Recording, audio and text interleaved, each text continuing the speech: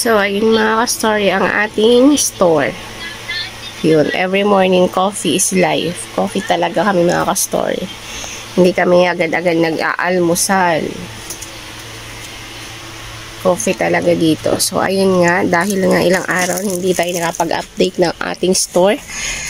Dahil nagkasakit ang ating liit kulit. Ayan, hindi rin nakapamalengke ng ilang araw. So, bali mamaya tayo mag-grocery kasi thanks God, okay na po si liit kulit. Malikot na naman. Ayan, magaling na po yan. Yan o, magaling na si liit kulit. So, ayan, wala, at, wala na mga kahindi pati gamis. Pati ripak mga ka-stories. Hindi ko siya natutukan bagong store talaga hindi natututukan ng may-ari. So, ayun. Ito yung kinalalabasan. Oh. Wala ripak. Naubos na rin yung mga chicherya. Pangit ng tingnan pag bungi-bungi na. So, ayun mga ka-story. Tingnan natin yung ano natin. Yan, mga biskuit hindi nakapagre-refill. Pati mga kainti. So, ayan. Chichiriyahan natin. Ayan oh, hindi na siya puno. Oh. Maluwag na sa baba. Ayan o. Oh. Maluwag na sa baba. Ayan, isang layer na lang. Tapos yung mga nakasabit, yan na lang.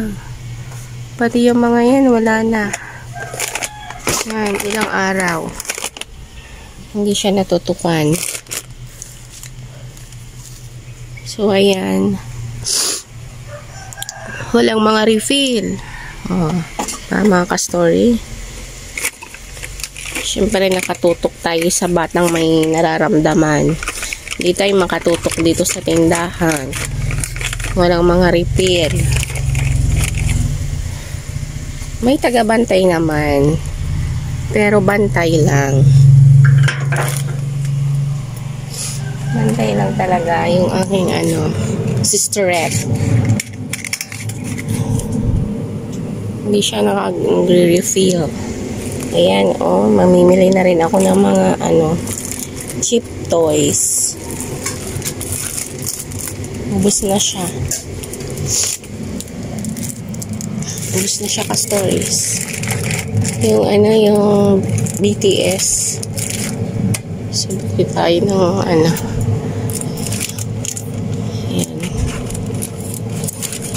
Yan na lang siya. So, walang mga refill.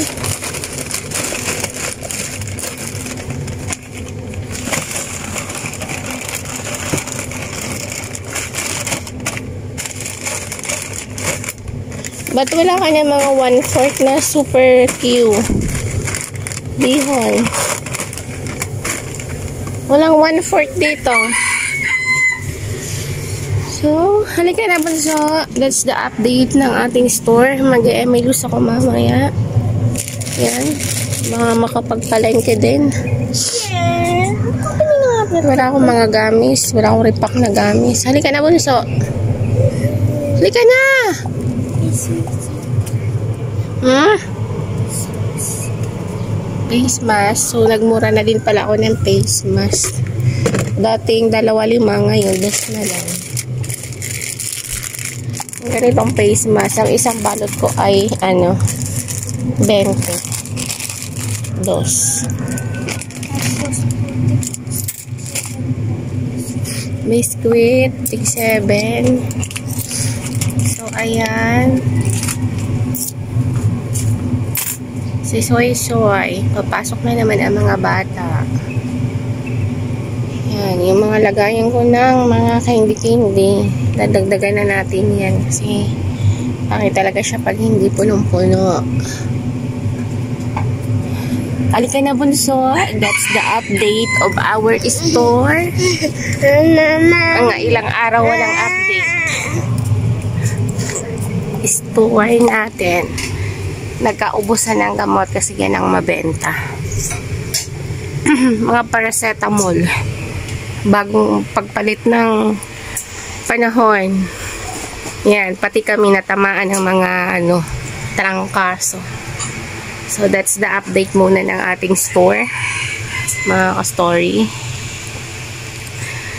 Please keep on watching and please subscribe our channel, Pabs Tindahan Stories.